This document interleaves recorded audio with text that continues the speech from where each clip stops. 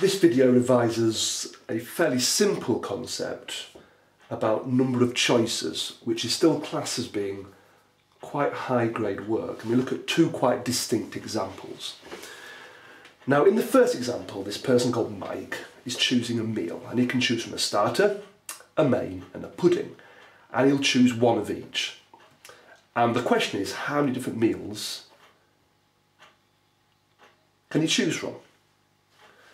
And there's a really, really simple way to work this out. And it's as follows. There are three starters. So he's got a choice of three to begin with. He then has a choice of five mains. He then has a choice of four puddings. And to find the total number of choices, all you do is multiply those three numbers together. 3 times 5 is 15, times by 4 equals 60.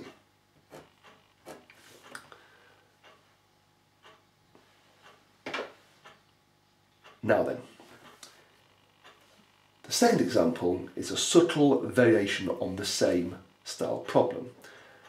Sally's got four cards with the numbers 1, 3, 2 and 4 on. And the question just asks, how many different numbers smaller than 3000 can she make? Now then, imagine these four cards.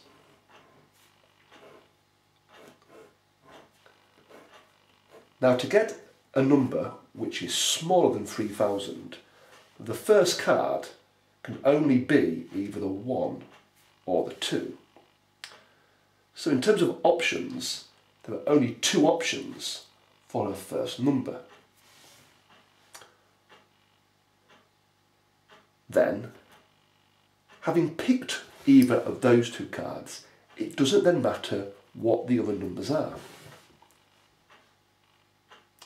But having picked a card, e.g. the 1 or the 2, there were two options.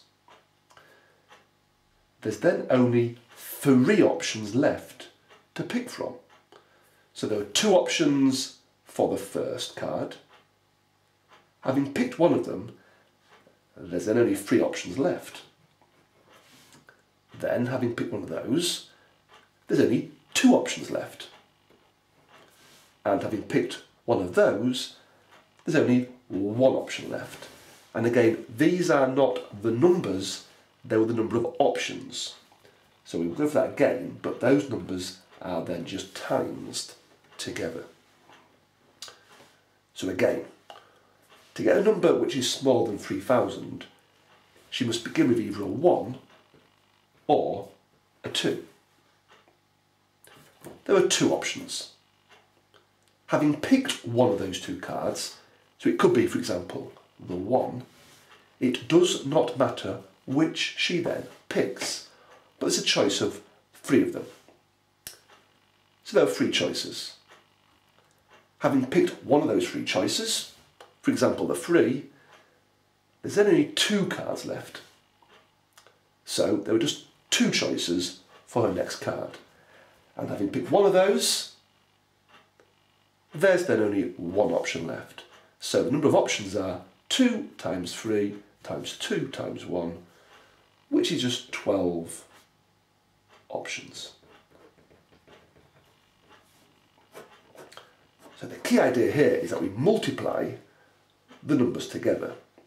But when picking cards out, having got a card, there's then one less card left to choose from, so the numbers decreased in this particular case.